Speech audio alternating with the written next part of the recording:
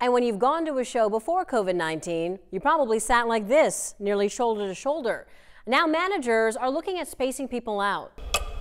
More like this, social distancing six feet apart. In 2015, city officials wanted to know what the demand would look like to live in downtown Kalamazoo come 2020.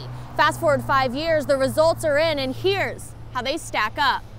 The study looks at four areas that make up the city of Kalamazoo the Vine neighborhood, Portage Street corridor, the heart of downtown, and the north side.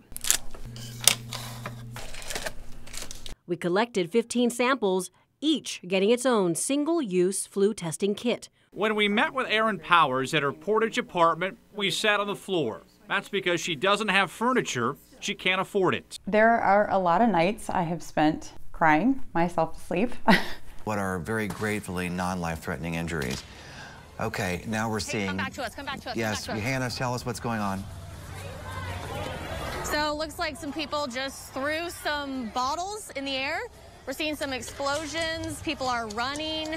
Heads up, it's going to look a little different than what you're used to. Instead of sitting next to someone like this, you'll be sitting more spaced out like this. And you'll be required to wear one of these. You'll have your time ticket ready, your face mask on, and you'll come right through these doors. Step on a square and wait for a quick health screening. Hello, welcome to the Kalamazoo Institute of Art. Usually this parking lot is filled with hundreds of cars every Sunday. Now all traffic is being directed to Facebook Lives where thousands of viewers are worshiping virtually. If we zoom in on Kalamazoo County, we see the current risk level is 47%. A struggle that's flipping their lives upside down. Honestly, I wished it was pre-COVID. I had a really good structure. They went to the before and after school programs that the district offered. 34% of children ages 0 to 17 in Kalamazoo households are represented by single parent families. Now in Calhoun County, where the Mitchell family lives, 41% of households only have one parent. The snow that's coming down, Jeff mentioned it looks like a snow globe out here. On our way to Bangor from Kalamazoo, we really saw that snow better and worse in patches. Hi, my name is Hannah Knowles. I'm trying to get a COVID-19 test. Call after call. Internet searches and drive-bys. This just a snippet of the work I did to try to get a COVID-19 test. Do you have to have an appointment for that one? If someone could please give me a call back so no one else can get a test. According to the state's coronavirus test website, within 25 miles of Kalamazoo, there's 18 places people can get tested for COVID 19. 13 of those locations do not require a doctor's note, and only five of them are free in cost to the public. We drove around to four of those testing sites in the Kalamazoo area, two a drive through option, the others by appointment only.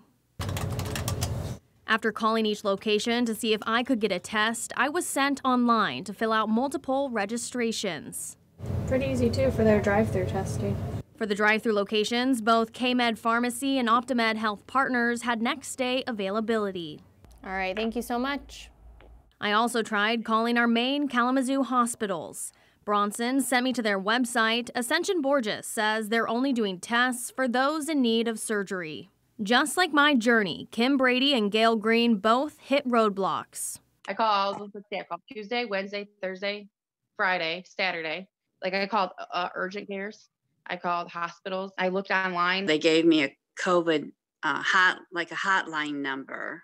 And um, that took a long time 45 minutes or so to get through to somebody. We were at the emergency room for over four hours with a lot of sick people and no social distancing. Brady's symptoms started showing on November 3rd. After that, it took her over a week to get an appointment. I called I called every hospital in town and I was like, I need help my chest was like hurting so bad. I was having trouble breathing. So then I got online. Me and my cousin got online and we were just like searching everywhere to get tested quickly. Like in every single place was like a four day wait. As for Green, her test was for her 85 year old mother. She has COPD and asthma. She's diabetic. She has three stents. Green says her mom never would have figured out how to get checked without her help. Nobody seemed to know the answers about where you could get a rapid test. And the patients coming in need more assistance, and they're, they're, the system is failing.